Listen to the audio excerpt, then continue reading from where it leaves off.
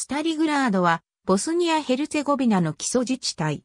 ボスニア・ヘルツェゴビナを構成する、ボスニア・ヘルツェゴビナ連邦のサラエボ県にあり、サラエボの一部を構成している。その中心部は、バシュチャルシアと呼ばれ、15世紀にオスマン帝国によって作られた歴史的な交易地区である。スタリグラード基礎自治体は、その宗教的多様性やボスニア建築を特徴としている。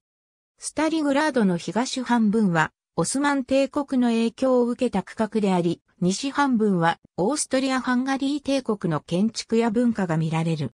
このことから、スタリグラードは、サラエボが東西の帝国の接点であったことを象徴的に示している。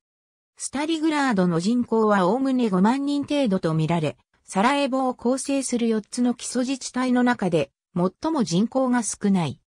その人口密度は742.5人、京平方メートルとなり、これも4自治体の中で最も少ない。スタリグラードには多くのホテルや観光の見どころが集中しており、ガジフスレブベグ、モスク、ツァールモスクやカトリック教会のイエスの精神大聖堂などがある。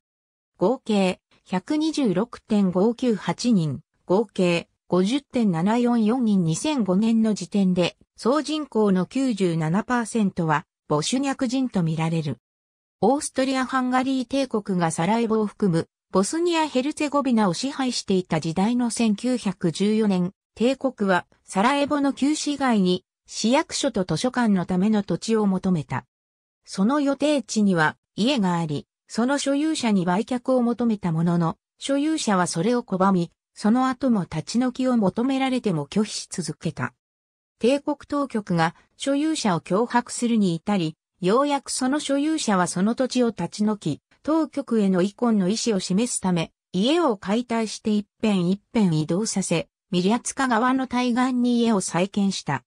この家は、遺恨の家を意味する、イーネット空間の名で、レストランとして営業されている。